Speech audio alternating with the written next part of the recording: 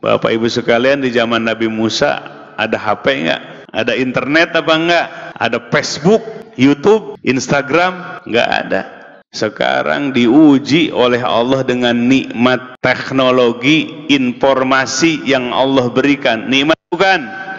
Nikmat jangan dikhianati. Jadikan media dakwah, penyebar ilmu itu bersyukur kepada Allah Subhanahu wa taala. Sehingga di akhirat nanti nggak ada alasan. Kenapa nggak ngaji?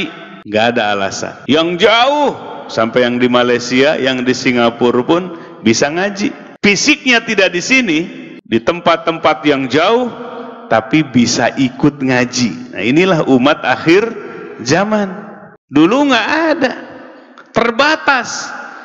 Maka baru tersingkap dan terjawab. Kenapa Nabi Muhammad sallallahu alaihi wasallam diutus bukan untuk satu kaum, tapi wama arsalnaka illa kafatal.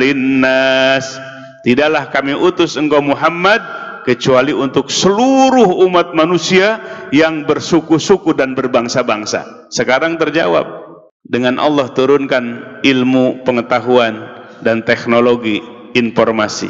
Terjawab tidak ada sekat dengan suku dan bangsa dan benua. Sekarang umat ini menjadi umat yang satu. Ngajinya di sini tapi bisa dilihat, didengar di berbagai tempat, bisa ikut ngaji maka tidak ada alasan untuk tidak ngaji. Jangan ada yang ketinggalan judul, ketinggalan bab dalam ilmu, harus nyusul.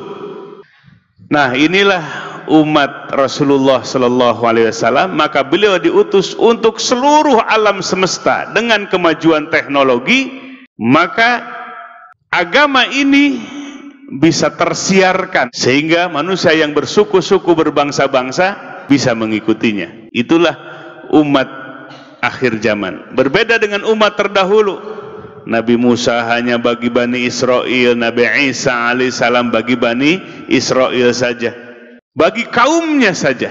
Walikuli kaumin had. Setiap kaum ada sang pemberi petunjuknya. Karena terbatas. Umat terdahulu terbatas. Allah belum turunkan ilmu pengetahuan dan teknologi maka cukup seorang rasul bagi kaumnya saja tapi bagi umat akhir zaman karena Allah bukakan ilmu pengetahuan dan teknologi seperti informasi ini maka Nabi diutus untuk seluruh umat manusia